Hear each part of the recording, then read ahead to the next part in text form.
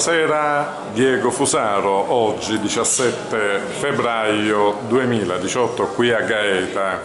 Abbiamo un grande esponente della cultura filosofica contemporanea. Volevo chiederti la dimensione gramsciana in questo contesto di eh, riscoperta eh, della storia dimenticata del regno delle due Sicilie. Gramsci usava un'espressione che prendeva in prestito da Sorel e parlava di spirito di scissione.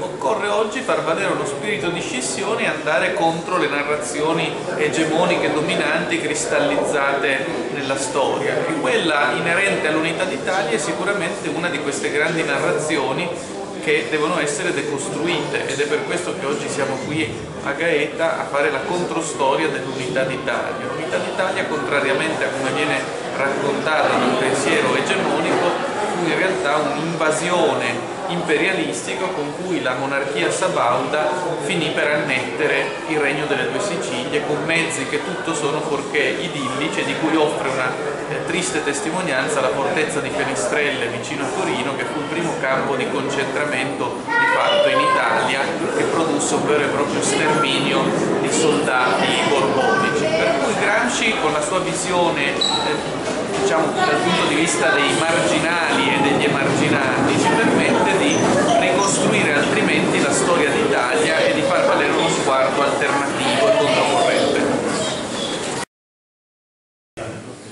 Diego Fusaro.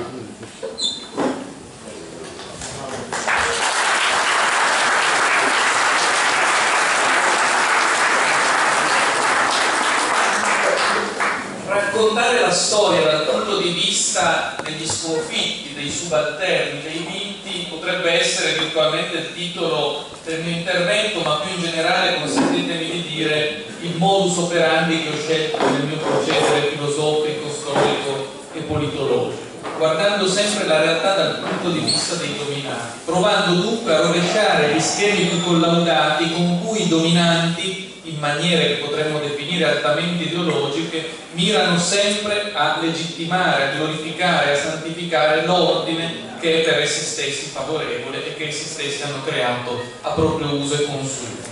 Vi è un passaggio di Lucano che potremmo qui rammemorare a mo' di stella polare per questo nostro percorso storico-filosofico che proverò a tratteggiare. Victris causa deis placuit, sed victa catone la causa vincente piacque agli dei, ma quella dei vinti piacque a Catone.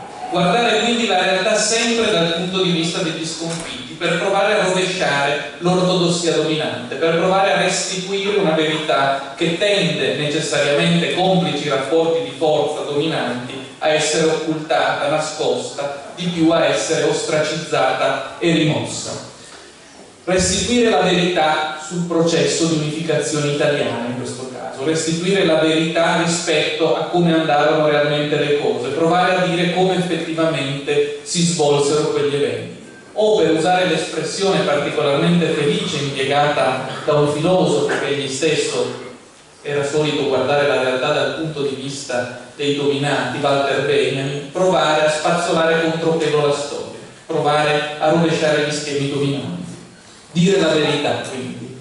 Io credo che se volessimo provare a rovesciare lo schema dominante con cui, come sempre accade, la parte dominante mira a legittimare il proprio dominio restituendo una narrazione falsata della realtà tesa a fare in modo che il punto di vista particolare venga falsamente universalizzato e presentato come se facesse gli interessi della totalità. Questo si chiama ideologia, rovesciare la realtà effettuale della cosa per provare a far passare come se fosse universale quello che è il punto di vista del particolare omettendo quindi di mostrare le contraddizioni, le storture e la falsa universalità. Ecco, se volessimo provare a rovesciare il pensiero dominante quindi a pensare altrimenti, se volessimo tentare di restituire a una libera discussione critica ciò che complici le prestazioni del pensiero unico dominante è oggetto di una sorta di indiscutibile assolutizzazione dogmatica, potremmo provare a raccontarci una storia che è quella che sono solito raccontare quando provo a descrivere, sia pur rapidamente, come andarono le cose. Ci raccontano da 150 anni con solerte continuità esasperante che vi è un gigante buono, un gigante produttivo, operoso, industrioso, dotato di sole virtù. Questo gigante buono e operoso è però rallentato nella sua marcia gloriosa da una palla al piede, una palla abitata da un popolo inoperoso, non virtuoso, che rallenta lo sviluppo e che costituisce di fatto un peso per lo sviluppo di questo gigante buono. Questa è la storia che da 150 anni ci viene raccontata, è la storia che glorifica, nemmeno a dirlo, il rapporto di forza dominante. È la storia che i vincitori raccontano dalla loro prospettiva, cercando di far sì, come sempre fa ogni ideologia, che anche i dominati si convincano della bontà dell'ordine che li vede dominati e di più vivano come una colpa il loro stesso dominio. C'è un passaggio molto bello del convivio in cui Dante Alighieri dice che molte volte si suole fare in modo che il piagato veda se stesso come responsabile delle piaghe che gli sono indotte da altri.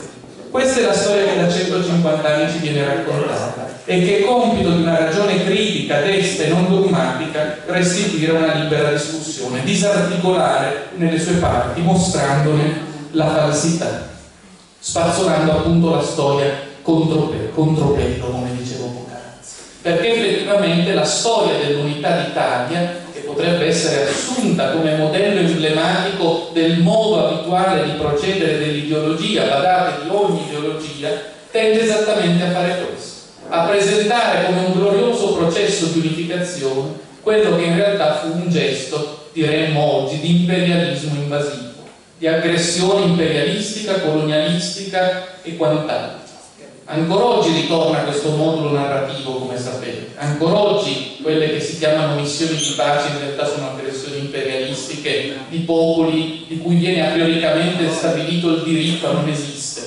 Ancora oggi i bombardamenti imperialistici vengono definiti missioni di pace e abbiamo allora figure di ordine neo-orwelliano come i bombardamenti umanitari, l'imperialismo etico, le missioni di pace, le esportazioni missilistiche della democrazia, gli embarghi terapeutici. Ecco, la matrice di tutte queste grandi narrazioni con cui i dominanti giustificano il loro dominio potrebbe a giusto titolo essere ravvisata, credo, nel modo in cui da 150 anni ci raccontiamo la storia dell'unificazione d'Italia che non fu, ripeto, un gesto glorioso di unificazione pacifica, consensuale, ma fu, come ben sapete, un gesto di abominevole invasione di una parte a detrimento dell'altra.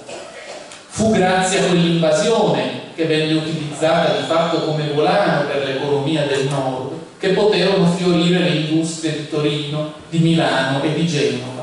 Fu grazie a quella opera di invasione che il nord poté porsi come la parte dominante e buona del paese, sfruttando a più non posso l'altra parte, con operazioni che ancora oggi meritano di essere ricordate e che la storiografia pigra allineata con l'ordine dominante tende a non raccontare, a rimuovere o a riscrivere ad usum su.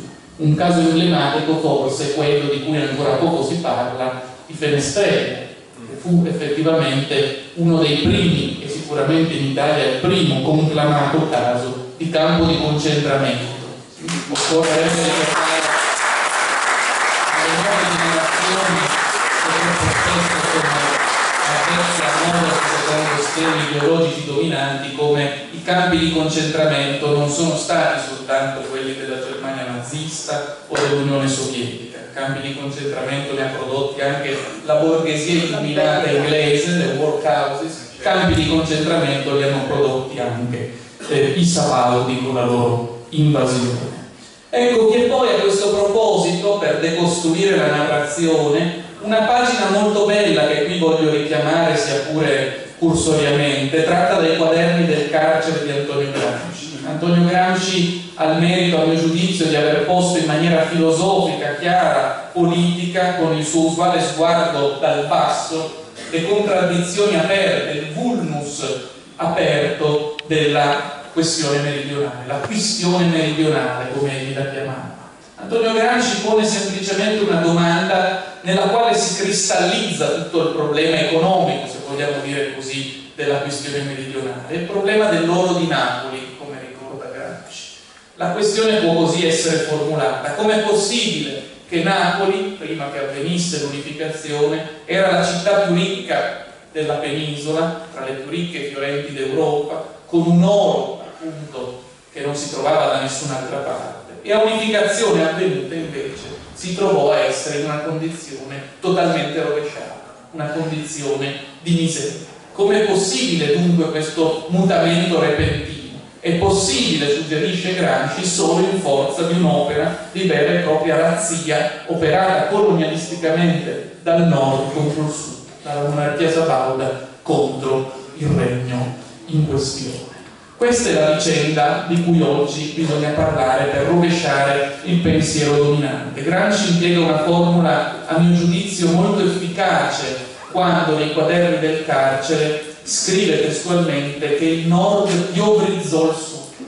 È un'immagine efficace che rende bene l'idea di come si trattasse di un movimento di sfruttamento, di razzia, di rapina.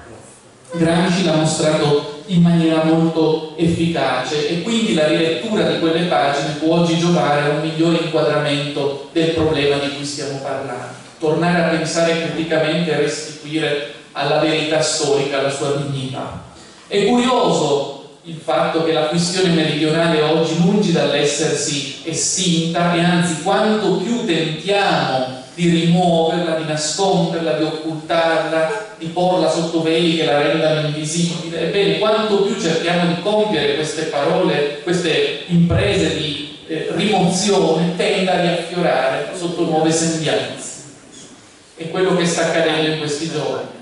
Da qualche anno a questa parte, anche la parte virtuosa, gigante che si sentiva operoso, industrioso, ha scoperto di essere a sud di qualcun altro perché in effetti il paradosso del vivere su una terra rotonda è che si scopre, comunque ci si muova, di essere sempre a sud di qualcun altro. E così da qualche anno a questa parte l'Italia tutta, il nord, il nord peroso, ordinanze buone, che vive grazie alle sue virtù, proprio come il sud, sfruttato, oggetto di razzia, hanno scoperto insieme di essere il sud di qualcun altro. Il sud di un'Unione Europea che si chiama Europa ma che in realtà si chiama Germania, il sud dell'Unione Europea che usa l'euro ma in realtà la valore Mutatis mutandis, se mi consentite questa analogia storica che forse gli storici non gradiranno ma che i filosofi utilizzano in maniera euristica per meglio rendere visibili le cose, potremmo dire che mutatis mutandis la dinamica della questione meridionale si ripropone in tutta la sua forza oggi. Vi è un nord buono, gigante operoso che produce, che investe e vi è un sud invece inoperoso, vizioso, incapace di evolversi. Un sud che è costituito da quei paesi che non a caso la neolingua liberista ha scelto sprezzantemente di definire PIX, maiali, i paesi dell'asse mediterraneo Portogallo, Italia, Spagna e Grecia. La questione meridionale ritorna con enfasi. Il nord si arricchisce sfruttando senza riserve il sud.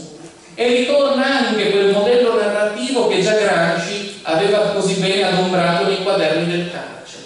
Il nord che sfrutta il sud non si limita a portare via l'oro di Napoli e a depredarne le risorse. Fa valere anche una forma di insopportabile razzismo con il quale, dopo aver portato via tutto il sud, gli rivolge anche l'accusa di essere un popolo antropologicamente inferiore. È quello che sempre oggi comporta i paesi dell'Europa.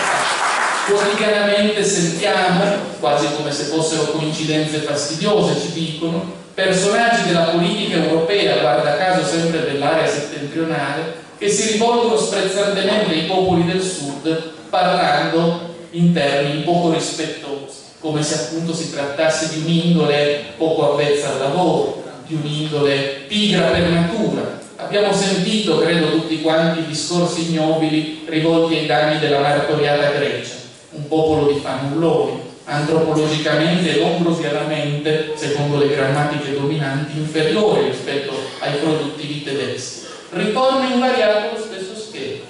E poi, con attenzione storica, scopriamo che la realtà è ben diversa rispetto a come ce la raccontano. Scopriamo che i greci fannulloni in realtà vanno in pensione dopo rispetto ai tedeschi produttivi. Scopriamo che i greci fannulloni hanno meno ferie rispetto ai greci produttivi. E scopriamo che quello che qualcuno, uno dei tanti cantori del sistema europeo, un euroinomane tra, tra i più impenitenti, Mario Monti, definì il successo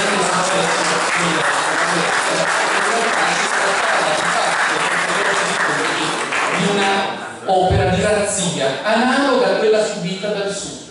Certo, in questo caso non abbiamo a che fare con carri armati, mitra e bombe, abbiamo a che fare con una nuova forma di invasione di imperialismo, di ordine squisitamente economico. Non vi è più bisogno di ricorrere ai mitra, ai carri armati, alle bombe, quando basta l'euro, la troika, il fiscal compact e gli archibugi dell'arsenale eurocratico monetario dominante. Questa è la scena in cui ci troviamo oggi. La questione meridionale che si fa questione europea. E tutti oggi dobbiamo con forza, volenti o nolenti, che abitiamo sopra Roma o sotto Roma, riporci quella domanda. Tornare a sollevare il problema della questione meridionale a partire dalla sua gente l'unificazione italiana per tornare a comprendere i processi oggi in atto e come, seguendo Gramsci, quel modello di unificazione che più propriamente andrebbe definito invasione imperialistica torni a realizzarsi mutatis mutandis sotto altre sembianze nell'Unione Europea odierna. Ecco quello che sta avvenendo oggi. L'Unione Europea è una questione meridionale allargata, che può essere compresa a partire dalla vicenda del Sud Italia con le note di razzismo fastidiose prima, prima evocate e con una nota aggiuntiva il non raccontarsi la storia, o se preferite il raccontarsi delle storie per non raccontarsi la storia, l'occultare i reali processi sottesi all'unificazione, nascondere lo scontro nel sangue sotteso a quei processi, cercare come sempre fa l'ideologia, ogni ideologia, di occultare il conflitto per restituire una realtà falsamente pacificata, che invece scaturisce dalle lacrime e dal sangue dei popoli sottomessi. Tentare di fare tutto questo in realtà sposta solo il problema, che però si presenta in forma, se mai è possibile, ancora più acuta significa nascondere il fatto che oggi sta ritornando esattamente quel modello. La storia si ripete, diceva qualcuno. Per chi non la conosce è un tormento doverla ripetere. Eppure la storia insegna, insegna se solo sappiamo rivolgersi al suo magistero, se solo sappiamo apprendere la lezione. La storia insegna ma non a scolare, diceva ancora il Gramsci prima evocato. Ed ecco allora che rimozione su rimozione, dopo 150 anni di rimozioni, dopo 150 anni passati a raccontare storie per non raccontare la storia, oggi torniamo tutti costretti, sopra Roma e sotto Roma, a rivivere in altra forma quella tragedia. La storia si sta ripetendo. Occorre quindi ripartire anzitutto da un principio di ridiscussione critica della storia non credo che si debba parlare di revisionismo come si fa. Solitamente la categoria di revisionismo viene utilizzata in maniera ideologica per negare il diritto a raccontare un'altra storia. Credo che qui si tratti di tornare a raccontare la storia tramite fonti documentali, tramite una narrazione diversa e soprattutto, secondo il monito di Gramsci, assumendo il punto di vista degli sconfitti, rovesciando l'ordine narrativo dominante e di qui partire per reimpostare altrimenti il nostro modo di essere. Pensare altrimenti è il primo punto per poter poi essere altrimenti, per poter riconfigurare i rapporti di forza, per rovesciare quest'ordine ideologico che dietro la coltre fittizia del, potremmo dire, dell'universalismo pacifico nasconde in realtà una conflittualità ad oggi irrisolta. Occorre ripartire da un principio di solidarietà comunitaria che rovesci l'ordine odierno che faccia valere il diritto dei popoli, di tutti i popoli, ad avere la propria storia, la propria identità e poter essere pienamente se stessi.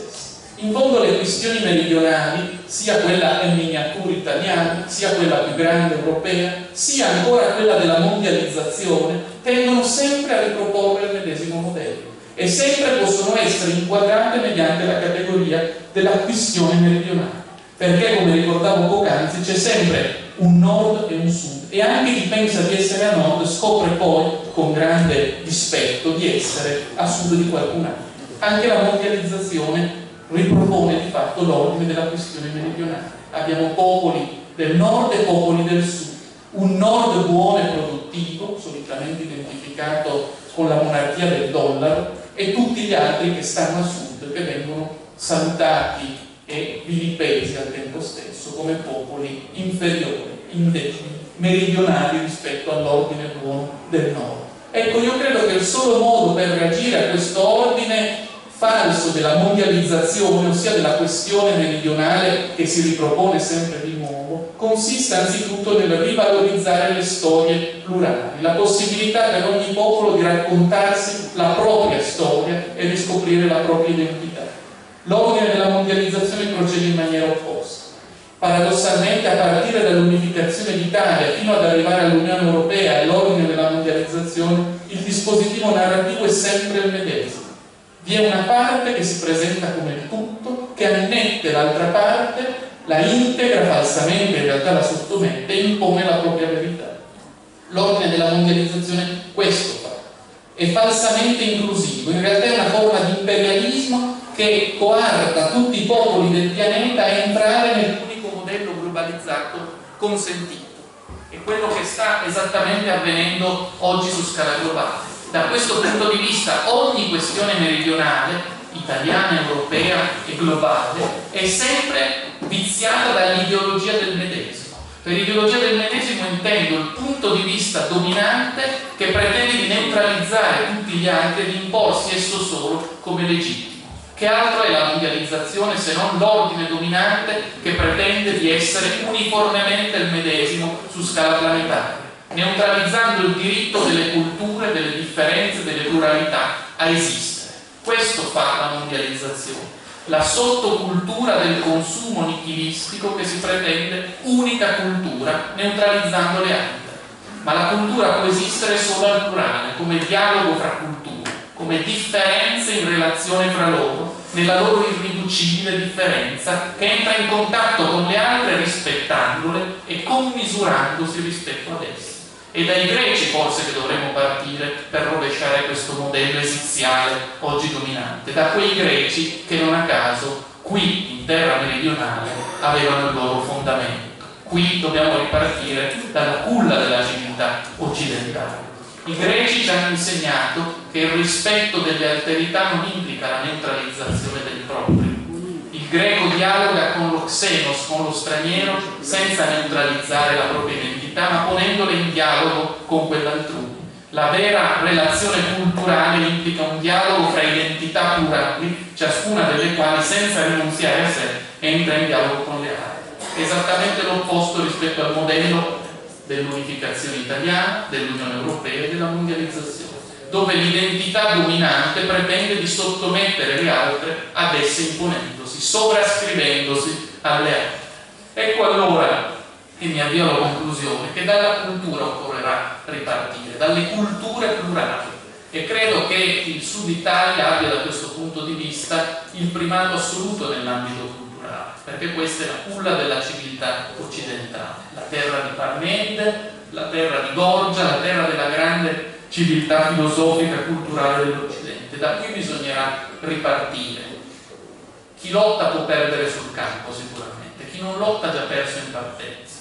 Lasciatemi chiudere con un passaggio bellissimo con il quale forse posso anche giustificare qui la mia presenza, io che non sono meridionale, io sono nato a Torino, non essendo però torinese di origine, ma come diceva Heidegger, la nascita non si sceglie, non si è gettati nel mondo quindi uno può sentirsi responsabile della propria